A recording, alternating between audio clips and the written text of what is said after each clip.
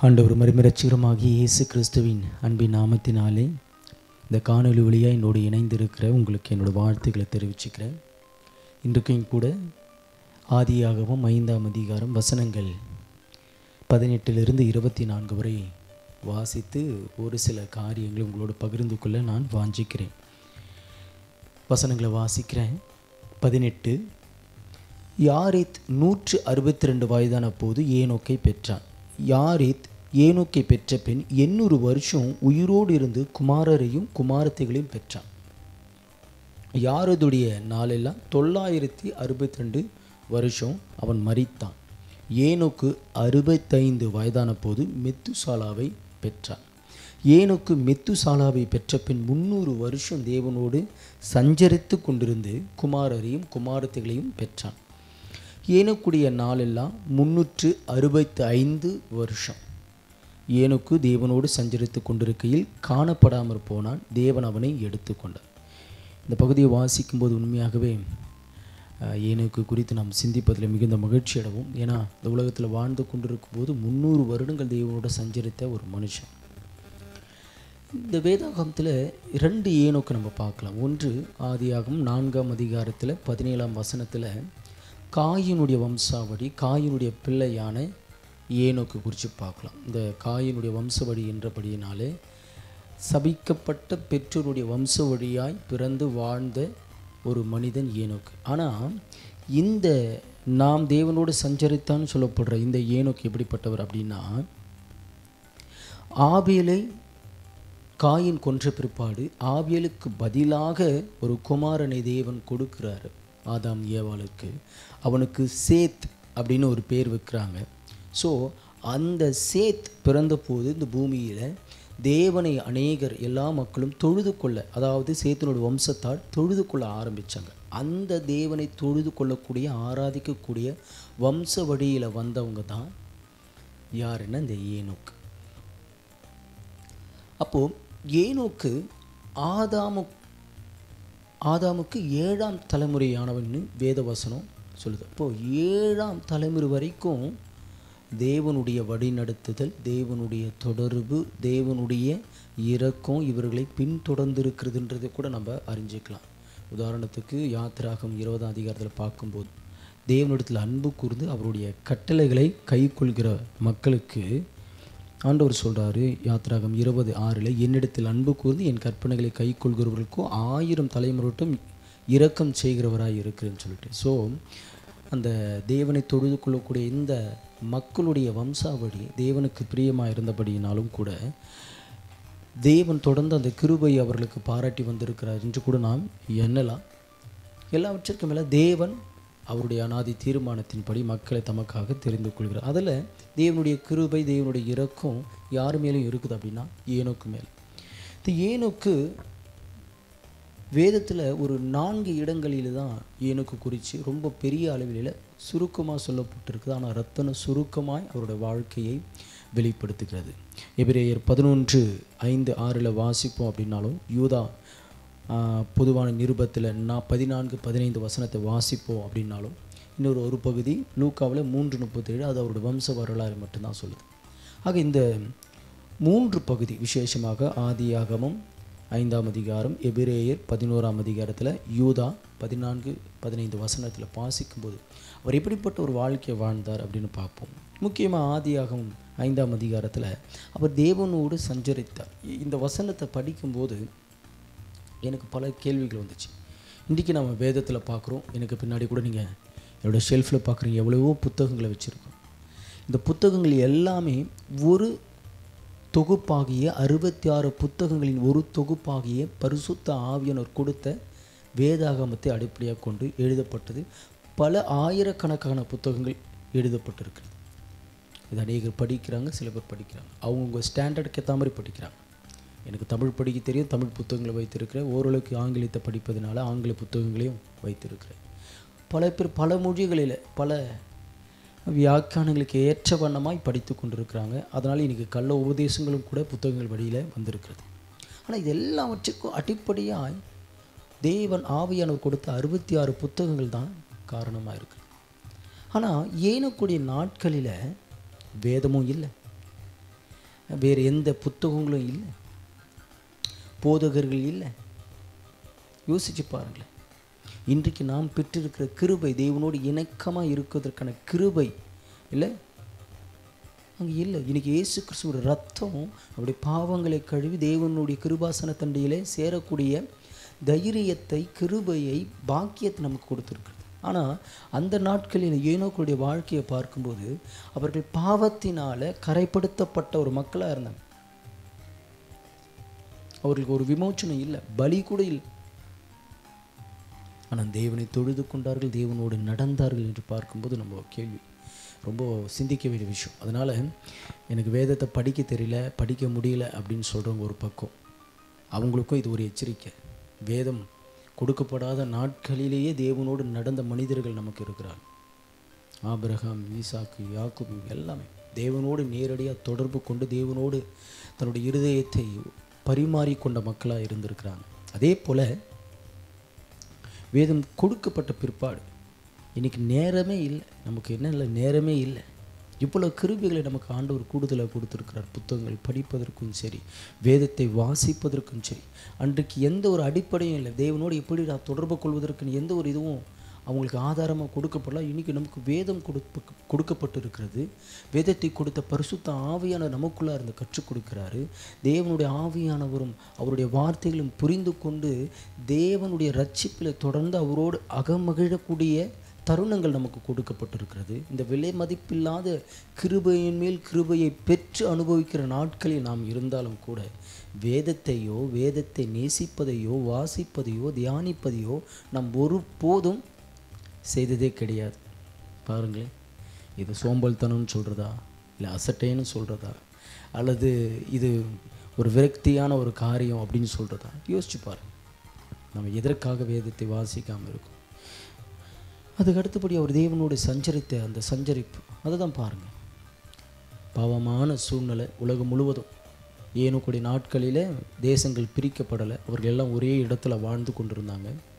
எப்போது தேசங்கள் பிரிக்கப்படுதுன்னா ஆதியாகமும் பத்து பதினோராம் அதிகாரங்களில் தான் தேசம் பகுக்கப்பட்டு பிரிக்கப்பட்டு கலைந்து செல்கிறாங்க உலகம் எங்கும் பூமி எங்கும் பரம்பி செய்கிறாங்க அதுக்கு முன்னாடி போகலை. எல்லாரும் ஒன்றாக ஒரே கூட்டமாக தான் வாழ்ந்து கொண்டு இருக்கிறாங்க அப்போது நீங்கள் யூதா புத்தகத்தில் வாசிக்கும்போது அவர் நியாய தீர்ப்பை குறித்து தேவனுடைய வருகையை குறித்து என்ன செய்கிறாருன்னா எச்சரித்து ஜனங்களோடு பேசுகிறார் இவர் சும்மா ஏதோ ஒரு பக்தி வாழ்க்கையில் ஒரு சன்னியாசிய வாழ்க்கையை போல் வாழலைங்க. இன்றைக்கி நம்ம அப்படி சொல்லுவோம். கிறிஸ்தவ வாழ்க்கை ஒரு சன்னியாசியான வாழ்க்கை ஒரு இடுக்கமான வழி. எப்படி இது வாழ்கிறது ஃப்ரீடம் இல்லைன்ட்டு அப்படியெல்லாம் இவர் இல்லை. ரொம்ப சந்தோஷமாக பிள்ளைகளை பெற்றெடுத்தார் மகள்களை மகன்களை பெற்றெடுத்தார். ஆனாலும் கூட அந்த பொறுப்புகளின் மத்தியில் தேவனோடு உறவாண்டார். இன்றைக்கி நாம் பொறுப்புகளை கையில் தலையில் தூக்கி வச்சுட்டு கடவுளை தூக்கி எங்கேயோ ஓரம் வச்சுட்டு நம்மை தூக்கி சுமக்கிற தெய்வத்தை நீங்கள் தூக்கி சுமக்க தேவையில்லைங்க.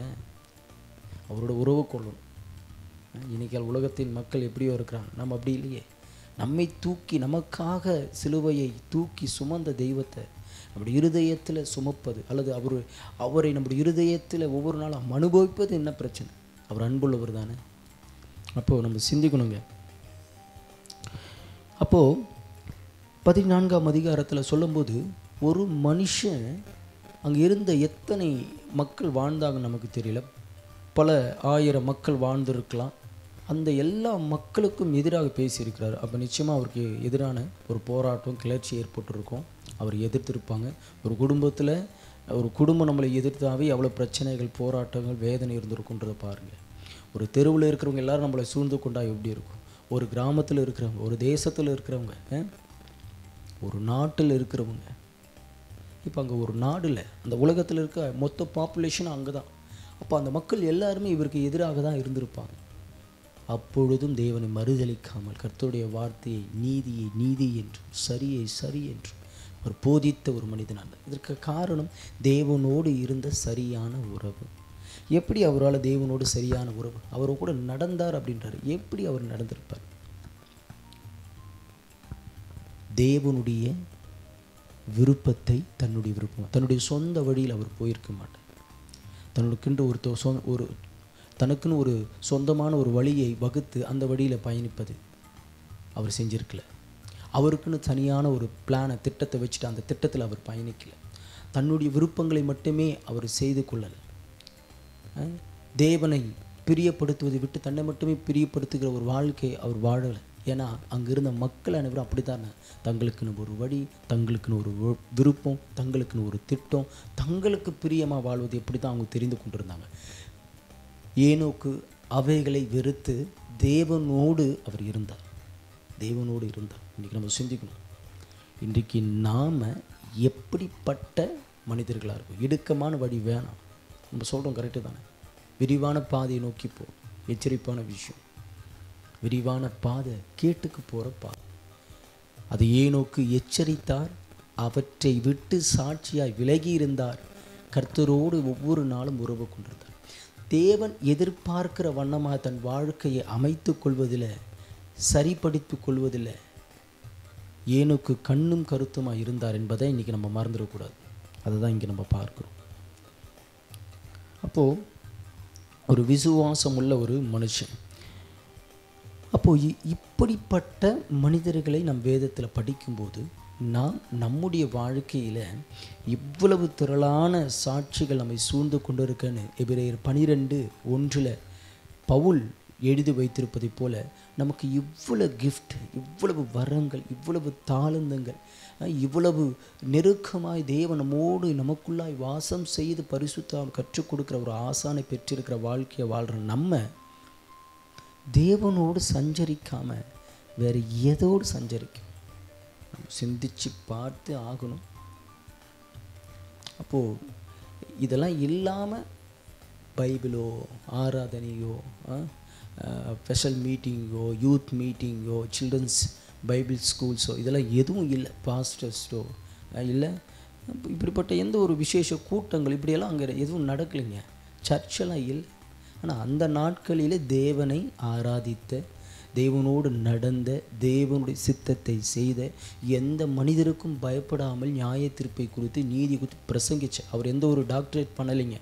எங்கே போகிற எம்டிஹெச்ஓ பிடிஹெச்ஓ புரியுதுங்களா? டாக்டரேட்டை முடிக்கல. எந்த ஒரு பட்டங்களையும் அவர் பெற்றுக்கொள்ளலை. ஆனாலும் அத்தனை மனிதருக்கும் தேவனுடைய வரவை தேவனுடைய நியாய தீர்ப்பை எடுத்துரைத்த அவருடைய வருகையை எடுத்துரைத்த ஒரு மனுஷன் அவர் வாழ்ந்திருக்கிறார்னா இன்றைக்கி நீங்களும் நானும் எப்படிப்பட்ட ஒரு மனுஷர்களாக வாழ்கிறோன்னு சிந்திச்சா உண்மையாகவே வெட்கம் அடைய வேண்டிய இடத்துல தான் நம்ம இருக்கோம் எவ்வளோ தருணங்கள் எவ்வளவு நமக்கு லாபகரமான வாழ்க்கை நமக்கு அருமையான பெற்றோர்கள் எல்லாத்தையும் ஆண்டவர் கொடுத்துருக்கார். ஒரு கிறிஸ்துவ குடும்பத்தில் வளரக்கூடிய ஒரு பாக்கியத்தை கூட நமக்கு கொடுத்துருக்கலாம். அல்லது கிறிஸ்துவை நான் தான் முதலாவது அறிந்து கொள்கிறேன் பாக்கியத்தை கூட அவர் கொடுத்துருக்கலாம். கொடுத்துருக்கலாம் பெற்றுக்கொண்டிருக்கிற நாம் அவரை கூட நடக்கிறோமா? நடக்கிறோமா? இன்னைக்கு ஏனுக்கு நமக்கு ஒரு பெரிய சாட்சியாக இருக்கிறார். நடக்கலாம் அவரோட கூட. அவரோடு வாழ்வதை விட இந்த உலகத்தில் வேறு என்ன? சங்கீதக்காரன் சொல்கிறோம் நம்ம. உண்மை தவிர எனக்கு விருப்பம் என்ன? பரலோகத்தில் உண்மை அல்லாமல் எனக்கு யார் உண்டு? உண்மை தவிர வேறு எனக்கு விருப்பம் ஏது உண்டு?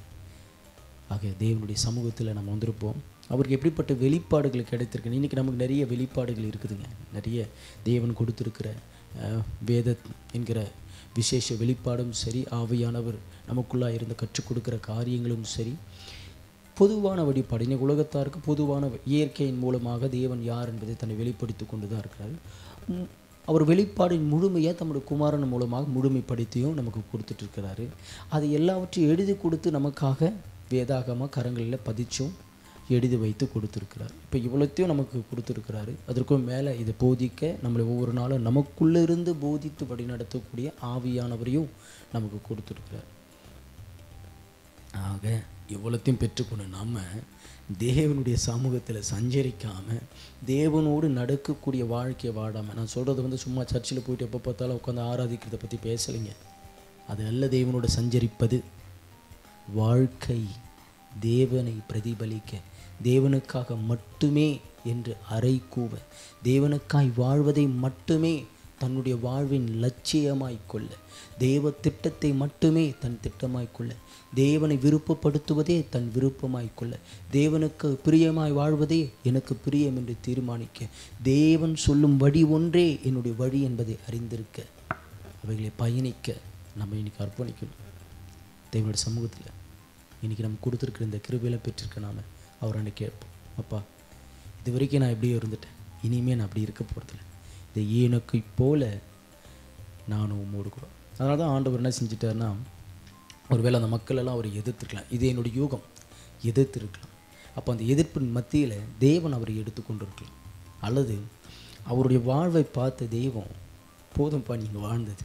வா நீ என்னோடு கூட இனி இழைப்பார் அப்படின்னு அவர் மறிப்பதற்கு முன்பதாக பாவத்தின் சம்பளம் மரணம் அந்த மரணத்தை தன்னுடைய பிள்ளைக்கு அவர் கொடுக்காம அவர் நினச்சி எடுத்துக்கொண்டார்.